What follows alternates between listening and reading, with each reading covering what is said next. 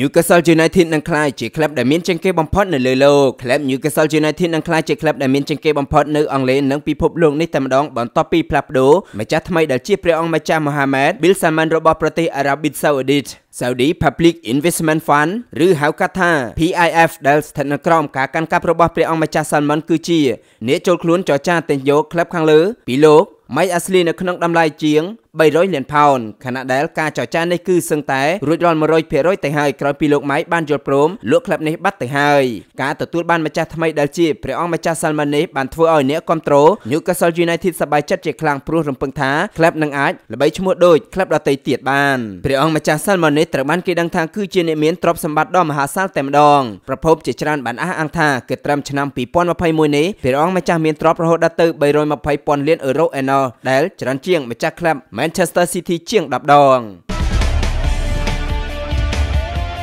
ហាសាតរងរបួសទៀតហើយការព្រួយបារម្ភរបស់រៀលម៉ាឌ្រីតនេះការរងរបួសរបស់អេដិនហាសាតត្រូវបានកើតឡើងម្ដងទៀតហើយក្រោយពេលតារាឆ្នាំរូបនេះបានបដូរចេញនៅនាទីទី75នៅក្នុងជំនួបបែលសេចាញ់បារាំង3ទល់នឹង2នៃពានរង្វាន់ UEFA Nations League តារាឆ្នាំអេដិនហាសាតបានបដូរចេញនឹងដើរទៅកាន់កន្លែងកៅអីបំរុងព្រមទាំងពិភាក្សាជាមួយនឹងក្រុមគ្រូពេទ្យដែលមើលទៅហាក់បីដូចជាមានបញ្ហារបួសម្ដងទៀតយ៉ាងណារបួសឬក៏អត់ក្រុមគ្រូពេទ្យគឺមិនទាន់បានបញ្ជាក់ច្បាស់នៅឡើយទេពីព្រោះត្រូវពិនិត្យមើលឲ្យបានច្បាស់លាស់សិនបើទោះបីជារបួសមិនទាន់បានបង្ហាញជាផ្លូវការក៏ដោយក៏ប៉ុន្តែគេបានសម្គាល់ឃើញថាហាសាតគឺអាចមានរបួសផ្សេងទៀតខុសពីរបួសចាស់គួរបញ្ជាក់ផងថាហាសាតធ្លាប់រងរបួសវាកាត់កជើងរហូតដល់ទៅ3លើកដែលជារបួសដែលបានកើតឡើងក្រោយពេលផ្ទេរទៅកាន់ក្រុមរៀលម៉ាឌ្រីតបន្ទាប់ពីចាចេញពីក្រុមតោខៀវ Chelsea កាលពីឆ្នាំ2019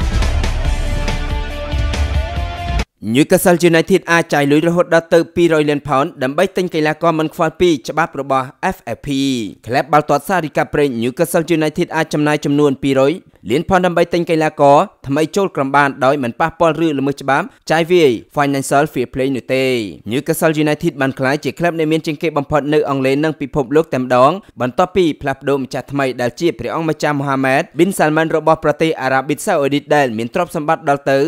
3220ពាន់លានអឺរ៉ូយ៉ាងណាមិញការផ្លាស់ប្ដូរម្ចាស់ថ្មីនេះដែលគេមើលឃើញថាក្លឹបមួយនេះនឹងកែប្រែសមាជិកភាពក្រុមនាពេលបច្ចុប្បន្ននេះផងដែរខណៈដែលក្លឹបមួយនេះនារដូវកាលក្រោយអាចចាយរហូតដល់ទៅ200លានផនឬលើនេះតិចតួចក៏មិនប៉ះពាល់ឬល្មើសច្បាប់ចាយវាយផងដែរការនេះក៏ព្រោះតែប៉ុន្មានរដូវកាលមកនេះ Newcastle United លក់ចេញហើយក៏ទិញចូលនៃកីឡាករវិញថោកថោកតែប៉ុណ្ណោះមួយវិញទៀតការខានបងរបស់ពួកគេក៏មានទំហំតិចតួចផងដែរដូច្នេះការចំណាយនាខែមករាឬរដូវក្តៅឆ្នាំក្រោយអាចចាយរហូតដល់ទៅ200លានផោន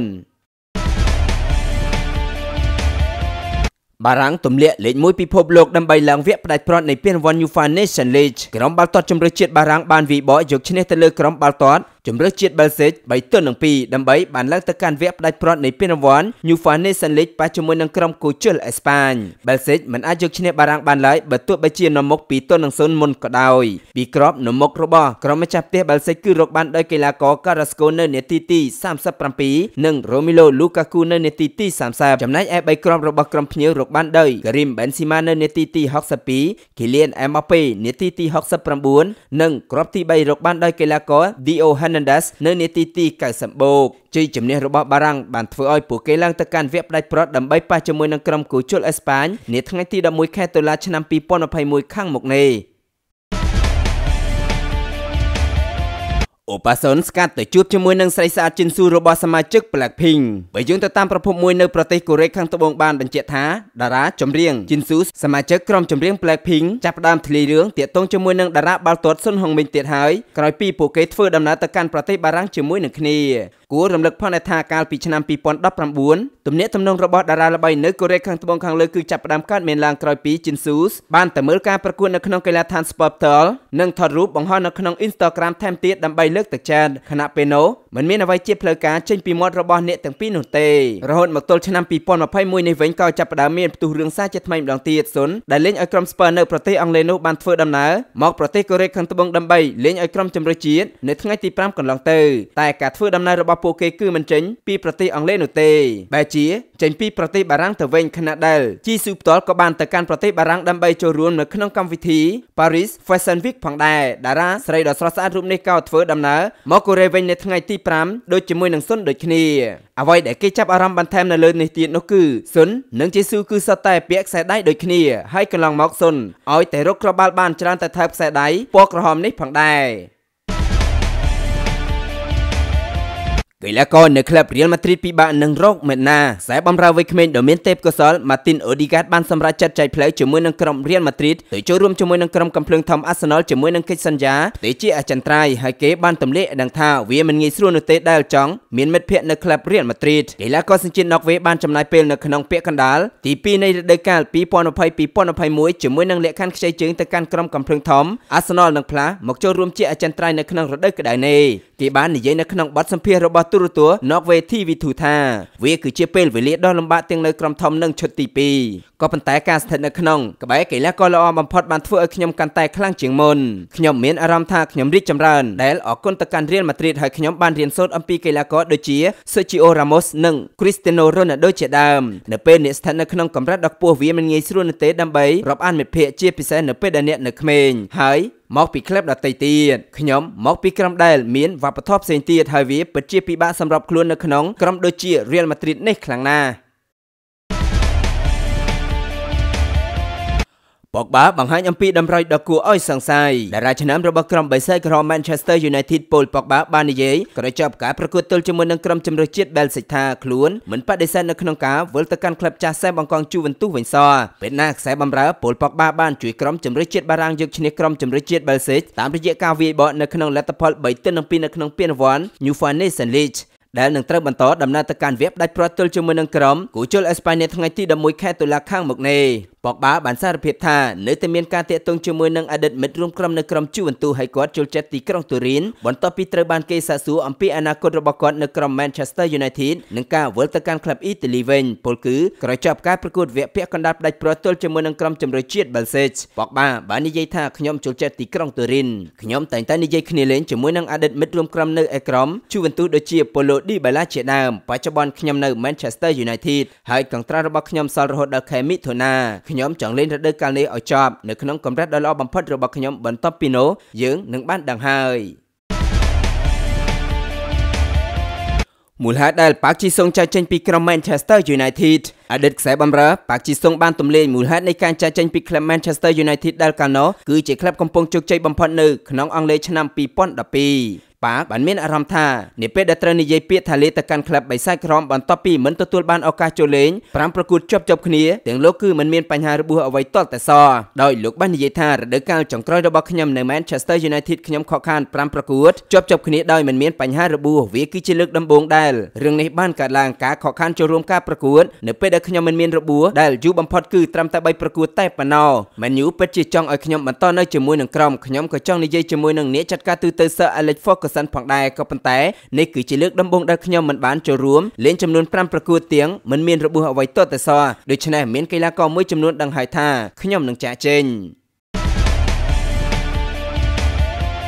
មូលហេតុដែលអាប់រ៉ាហាំទៅចូលរួមជាមួយនឹងក្រុម AS Roma ថាមីអាប់រ៉ាហាំធ្លាប់ បានរួមក្លឹបជាគ្រូនឹងសេះជាមួយនឹងលោកជូសេមូរីញ៉ូម្ដងរួចមកហើយកាលពីនៅក្រុមទៅខេ Chelsea ហើយថ្មីថ្មីនេះក៏បានសម្រេចចិត្តទៅចូលរួមជាមួយនឹងក្រុម AS Roma សារជាថ្មីម្ដងទៀតជាមួយនឹងគ្រូបង្វឹកចាស់នៅឯទឹកដីអ៊ីតាលីតារាបាល់ទាត់វ័យ24ឆ្នាំបានបញ្យល់មូលហេតុនៅក្នុងការចាច់ចេញពីក្លឹបដែលដឹកនាំដោយលោក Thomas Tuchel ត្បិតបើបានលើក Champions League និងឡើងទៅដល់វគ្គផ្ដាច់ព្រ័ត្រនៃពានរង្វាន់ FA Cup ផងដែរអាប់រ៉ាហាំបាននិយាយថាខ្ញុំមានអារម្មណ៍ថានៅអង់គ្លេសបីដូចជាផ្ទះរបស់ខ្ញុំតែខ្ញុំក៏បានកិនបើកចិត្តដើម្បីជ្រើសរើសកន្លែងថ្មីនៅអ៊ីតាលីហើយក៏មិនអាចផ្លាស់ប្ដូរបានផងដែរខ្ញុំមានជំរឿសដទៃទៀតដោយមានក្លឹបជាច្រើនដែលខ្ញុំបានពិភាក្សាអំឡុងពេលផ្ទៃនោះតែខ្ញុំបាននិយាយជាមួយនឹងជូសេមូរីញ៉ូនៅអ៊ីតាលីគឺគាត់មានគោលដៅច្បាស់លាស់ហើយខ្ញុំចង់ចូលរួមចំណែកនៅដំណើរការមួយនោះជាពិសេសគឺគាត់បានដាក់ការជាទុកចិត្តមកលើរូបខ្ញុំនឹងហើយគឺជាអធិពលនៅក្នុងការជ្រើសរើសផ្ទេទៅកាន់ក្រុម AS Roma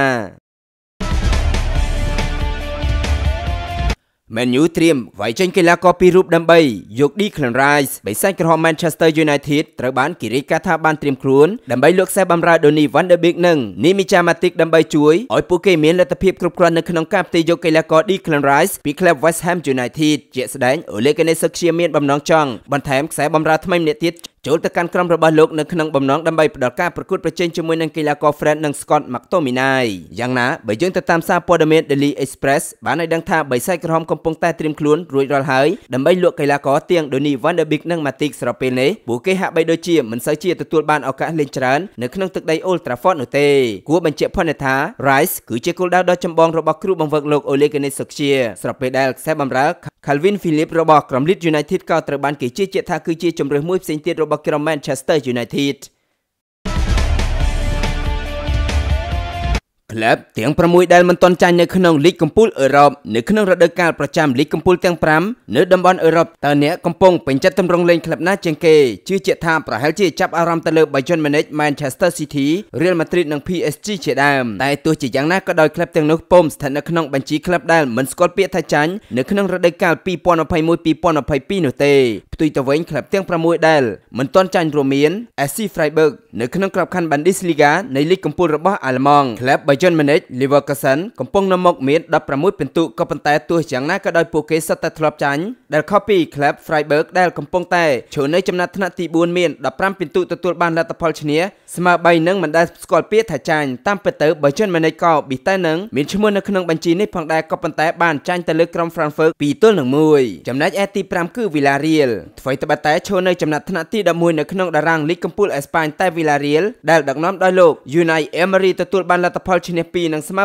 7ខណៈដែលពួកគេមិនទាន់ស្គាល់ពាក្យថាចាញ់ចំណែកឯទី4នោះគឺ Liverpool Chelsea កំពុងឈរនៅកំពូលតារាងតែពួកគេឈ្នះតែ5ស្មើ1និងចាញ់1ទៅហើយចំណែកឯ Liverpool ដែលជាក្រុមតាមពីក្រោយគឺឈ្នះ4និងស្មើ3គឺមិនទាន់ស្គាល់ពាក្យថាចាញ់ទាល់តែសោះសរុបជាស្ថិតិរួមពួកគេបន្តភាពមិនទាន់ស្គាល់ភាពបរាជ័យនោះគឺ19ប្រកួតមកហើយបូករួមទាំងរដូវកាលមុនលើកចុងក្រោយដែលហងក្រហមចាញ់នៅក្នុងលីកគឺពួកគេត្រូវចាញ់ក្រុមភ្ញៀវ Fulham នៅក្នុងលទ្ធផល